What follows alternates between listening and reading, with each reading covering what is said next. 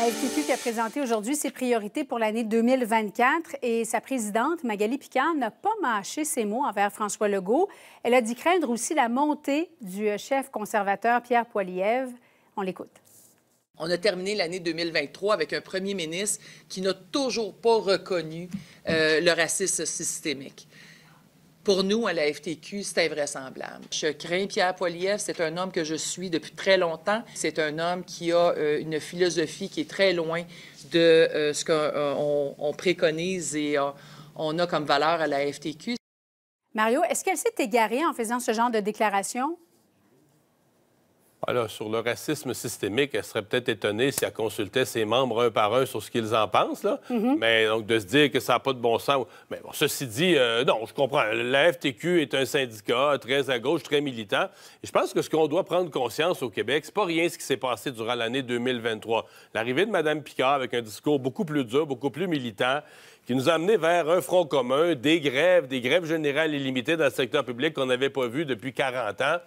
Je veux dire, il y a euh, le Québec comme la tour de Pise penche un peu à gauche, là.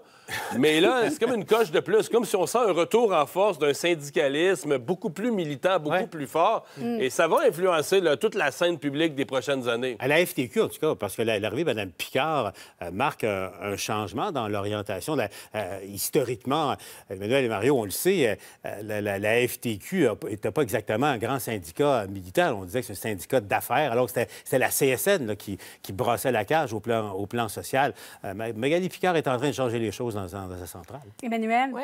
Mais moi, ce que je trouve intéressant, c'est ses déclarations sur Pierre Poilievre. Il faut comprendre que Mme Picard était vice-présidente de l'Alliance de la fonction publique au fédéral, qui est un syndicat affilié à la FTQ. Euh, et ce qui est Donc, oui, elle a voix au chapitre sur les questions qui touchent euh, des relations de travail euh, entre les syndicats et le gouvernement fédéral. Ce qui est intéressant, c'est qu'elle reproche à Pierre Poilievre ses prises de position en 2011, en 2012, quand il était ultra antisyndical. Il voulait forcer les syndicats à dévoiler leurs finances. Il voulait affaiblir la formule RAND. Mais le Pierre Poilievre de 2023-2024, il est pro-syndicat maintenant.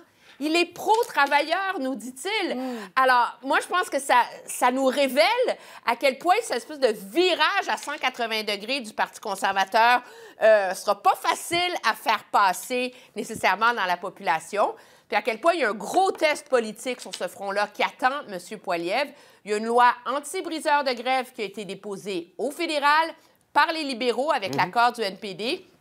on attend de savoir si les conservateurs sont vraiment pro-travailleurs et pas anti-syndicaux. Mettons que la pression est forte pour lui pour, sur, euh, pour l'appuyer, cette loi-là. Mhm.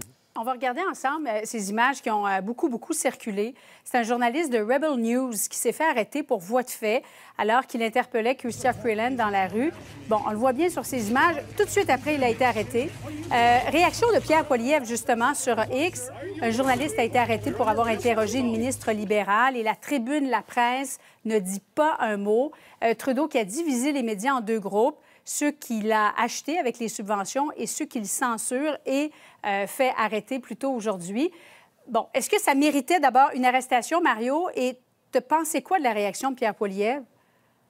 Bien, à mon avis, l'arrestation, c'est nettement exagéré. Bon, on comprend que mm Rebel News, c'est à cheval entre des gens très, très, très militants, anti-Trudeau, euh, ben, mais de l'autre côté, bon, qui sont à la fois euh, un média, là, qui essaient de se faire accréditer ici et là comme un média, qu'ils sont à plusieurs égards, là, parce qu'ils diffusent. Puis mais là, euh, bon, l'arrestation, dans ce cas-ci, je pense pas qu'il y a d'agression. L'arrestation. On cherche la voie de fait, là. Oui, on cherche la voie de fait. L'arrestation paraît largement On sait pas ce qui est arrivé avant, hein? Oui, c'est ça. Peut-être peut préalablement. Mais, ceci dit, euh, que Pierre Poilievre se mêle de ça, euh, de cette façon-là, ils disent que la liberté de presse au Canada est menacée sous Justin Trudeau, Trudeau un petit hmm. peu gros, là. En même temps, en voulez-vous une bonne? C'est que là, on, vient d'apprendre que le, gars de Rebel News, qui se fait passer les menottes, Menzies, mm-hmm s'est fait arrêter, c'est pas la première fois, là, à, quelques reprises préalablement.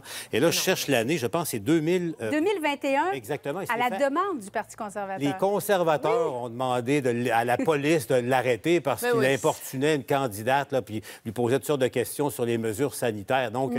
euh, euh, M. Poilièvre, attention avant de faire de telles accusations. Vérifiez donc un peu ce qui s'est passé quelques années avant chez vous. Emmanuel? Oui, moi, je pense que tout le monde qui voit la vidéo telle qu'elle est montée, hein, je pense qu'il faut quand même mettre des gants blancs, trouve que la police a charrié assez sérieusement.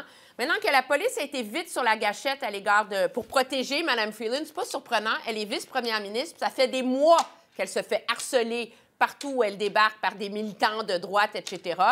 Puis moi, j'ai un problème avec les stunts de Rebel News. Tout ça, hmm. là, ça sert pas à informer, ça sert à amasser de l'argent en suscitant hmm. l'indignation. Emmanuel Latraverse, Mario Dumont, Paul Larocque, merci à vous trois. Bonne soirée. Au revoir. Au revoir.